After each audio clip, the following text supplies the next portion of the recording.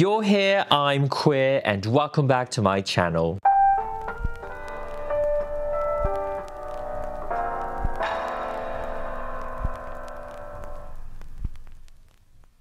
For this video, we will be customizing the new Gen 3 Catty Noir from Monster High. I have been seeing this doll everywhere and I'm just so obsessed with her. I love her skin, I love her face, I love her body, and honestly, I feel like out of all of the new Gen 3, her and Venus have like the best factory paint like so far. The fashion for her like the other Gen 3 is a little after I saw her doll, I was just so inspired to like customize her and make her my muse for something. I remember this trend a few months back where they would dress up as the Tom and Jerry female cat, like the white one with the purple bow everyone was just killing it with the looks. Everyone just looked so good. Just the vibes of everything was just so amazing. The edits are so nice and it just got me so inspired. And I kind of wanted to participate with that trend, um, my own version, using my dolls. I remember watching Tom and Jerry and I was so obsessed with it.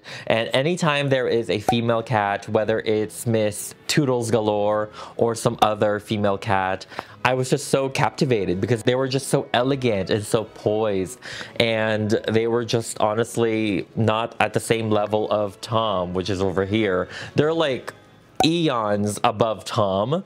They're just so classy and I'm just so obsessed with them. I was kind of looking up all of the female cats in Tom and Jerry and there wasn't really a lot, but I noticed that there wasn't really like a black female cat in Tom and Jerry. I may be wrong, so please let me know in the comments below if I am. There was a male black cat though, which was um, Tom's kind of like rival. So I thought why not do this makeup trend using Miss Catty Noir. And this is actually a fun collaboration with Miss Savannah Alexandra Art here on YouTube and also on Instagram. So we're both making a female cat doll that is inspired by Tom and Jerry and I just love Miss Savannah. Her art is also very, very vintage vibes and I'm just so drawn to it. So I definitely recommend that you guys check her out and check out her doll I will have her link down below and also here at the iCard. And we're kind of like on the same page with the vibes that we're trying to achieve with our Tom and Jerry female cats. I want the concept of this doll to just be very soft overall with the vibe. And I was really, really inspired with the Selkie dresses. I want her vibe to be very cute, very delicate, very coquettish. Of course, we cannot forget about her bow in the back. I feel like the bow really like makes it. Overall, I want to give her a short hairstyle and overall, I want her to kind of have a vintage doll look to her. And speaking of vintage, you guys know I love a good maximalist vintage decor as you can see. And I've been playing a game that's been giving me so much inspiration that I wanted to share with you guys. June's Journey is such an engaging and aesthetically pleasing game, especially if you're into murder mystery. And I want to say a huge thank you to them for sponsoring this video. June's Journey transports you back to the dazzling 1920s, following June Parker as she unravels the mystery behind her sister's murder. The artwork is absolutely stunning. Every scene is like stepping into a vintage postcard, a painting. I mean, look at all these details.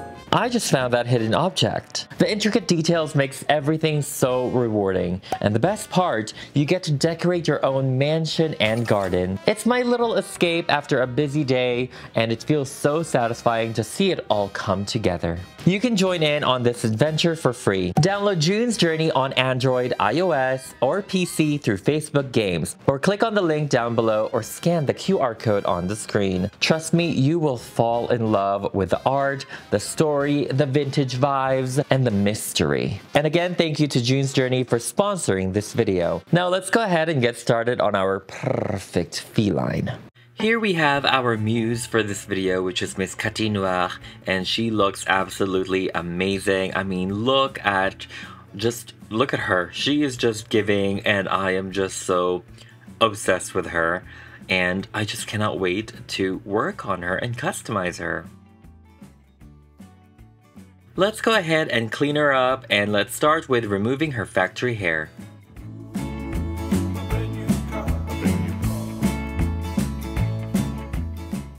I want to take a moment and really admire the beauty of this face up for Miss Catty Noir. I feel like this is really the best out of G3. So now let's go ahead and remove it.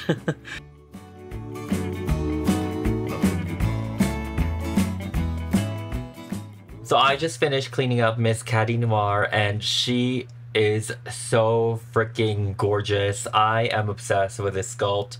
I do wish that her joints are a little bit softer to pose because they're a little bit difficult, but maybe over time, the more you like play around with it, the more you bend them, it'll be a little, a little bit uh, softer. Her body actually has like a shimmer effect to it as well. I am so obsessed with her face. I mean, you can't fault G3 for the body overall. Like the G3 faces, the G3 bodies, and all of that, they're really top notch and Miss Catty Noir is no different. Because I want to give her sculpted hair, I do want to protect the overall piece from cracking, so I am filling the inside of her head with epoxy sculpt as well. That will prevent the head from being squished.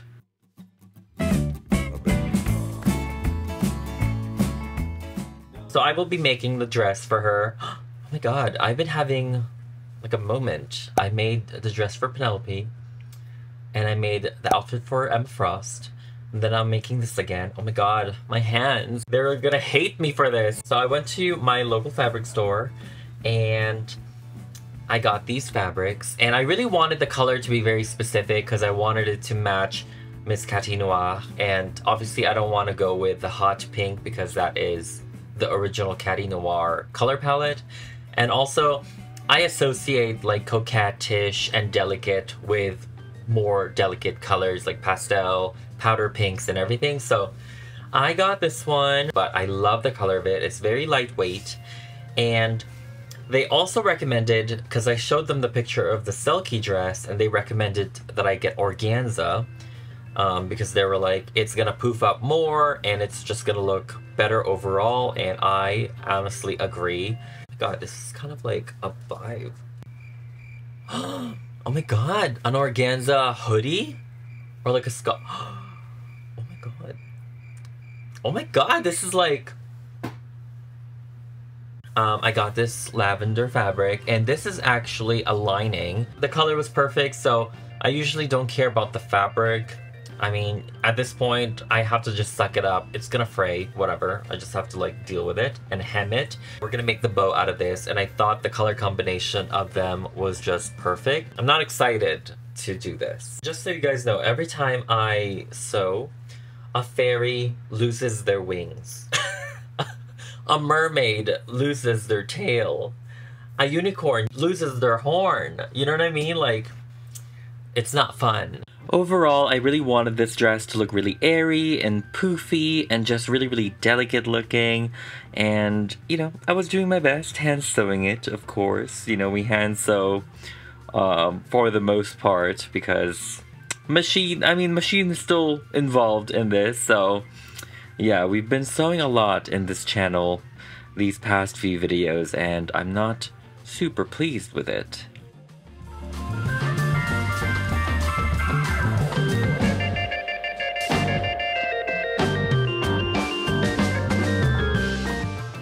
For some reason, the fabric was very, very wrinkled when I was sewing it, and I just had to really like steam it midway. So I just made sure to do my best to get rid of all the wrinkles.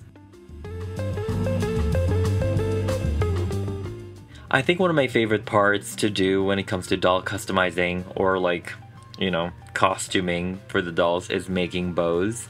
For some reason, I I just love bows. I know I don't really use it a lot in my designs. I love it when it's really, really big and obnoxious and it just looks so delicate and I'm just so in love with this color.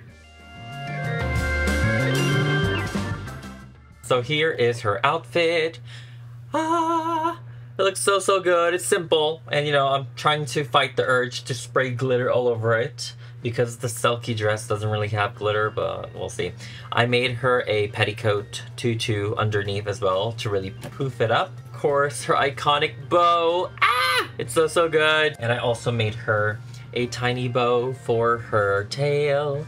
This took me a while to make, of course, you know, giving my hands a little bit of break, as I should be, but um, for some reason, creating more like cleaner looking outfits and lines and everything is much harder because you will see more of the imperfections.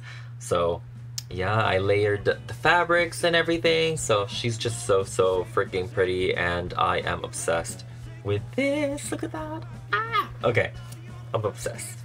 Now let's go ahead and start sculpting her hair using epoxy sculpt and as you can see I have taped every feature that I don't want the clay to go onto. So initially I am just covering her entire scalp with a layer of clay and then I go into it and we add all of the ridges and all of the finger wave detailing and so on.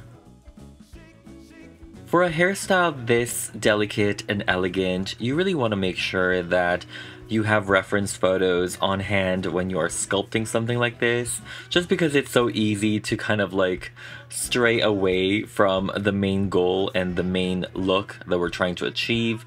For the most part, I was googling black finger wave hairstyles, 1920s finger waves, and for the most part, it actually hasn't changed much, which is really, really cool because I personally love a beautiful finger wave.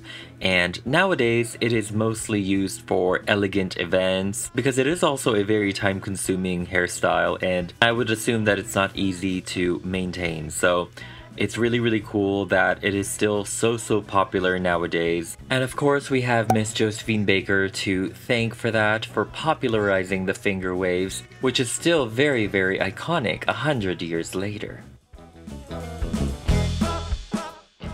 I decided to sculpt the hair instead of, of course, rebooting or making a wig, just because I knew that I was going to be able to get the look a little bit better when I sculpt it versus if I was to reboot or make a wig. For the most part, for all of my dolls, I tend to lean towards what's going to give us the better look, the better execution, and I was more confident with sculpting the hair and styling it this way rather than using like hair or yarn fiber. And also, it was kind of like a way for me to give my hands a little bit of a break from strenuous activities. My hands has been in pain and inflamed, so I thought sculpting it would give it a little bit more of a break. And I haven't really sculpted hair in a while, so I do miss it.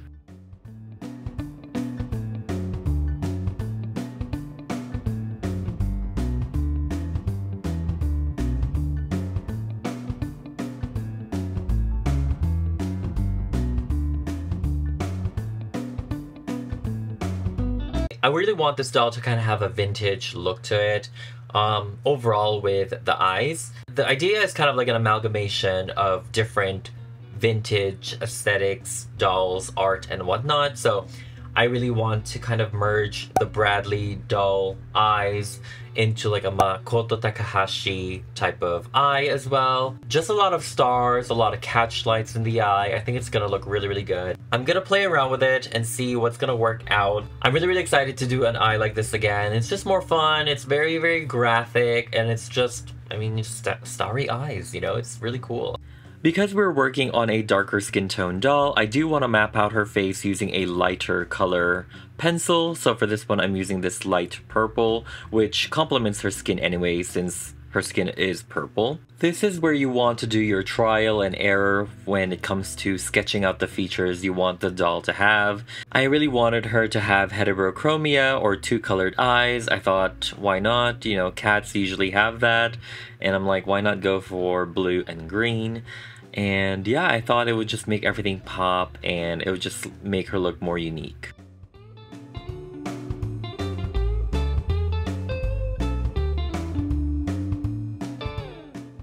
Having the lighter purple features drawn on her actually looks really, really cool in hindsight. Of course, we will be toning everything down in the end, but just looking at it right now, I'm like, oh my god, it looks really cool that she has this light purple eyebrow and like the light purple eyeliner. I don't know. It's always like in hindsight when you think about things, but maybe in the future we'll do something like that. If you've been watching my videos for quite some time, then you would know that my go-to faces are always the mean-looking faces, the drag queen mean-looking faces, because that's what I love. I really tried to pull back the charisma, uniqueness, nerve, and talent um, acronym for this look because I really wanted her to look delicate, soft, and cute. Like those are the goal and I really hope that I was able to achieve that.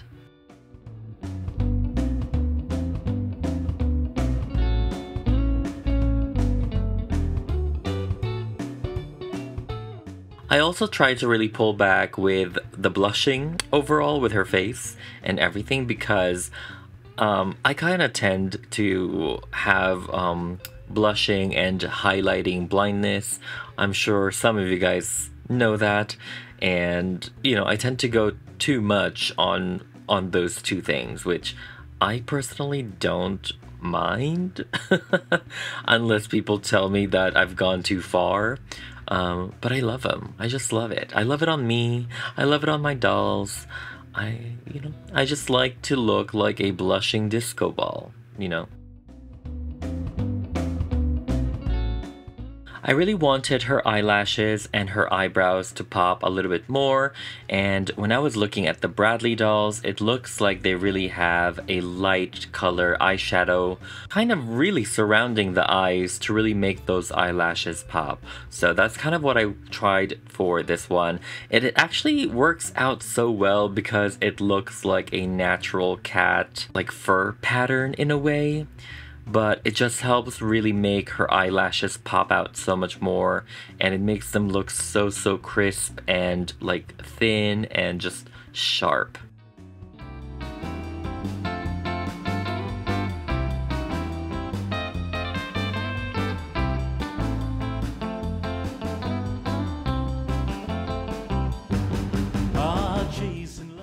Now it's time for the fun part, which is her catch lights. And like I said, this is again very much inspired by Macoto Takahashi slash Bradley dolls and even like the 80s Barbie dolls with the starry eyes. Like, I just love them. I know it doesn't seem like I do love them, but I do love them. Um, especially when the eyes are really, really big. I think it just works so well for this type of doll.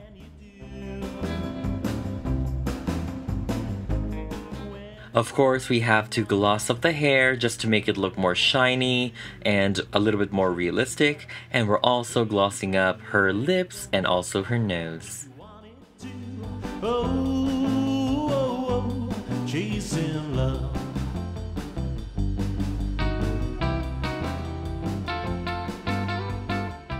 And to really sell the cat feline fantasy, we are giving her some whiskers. And I'm just using a fishing line for this one.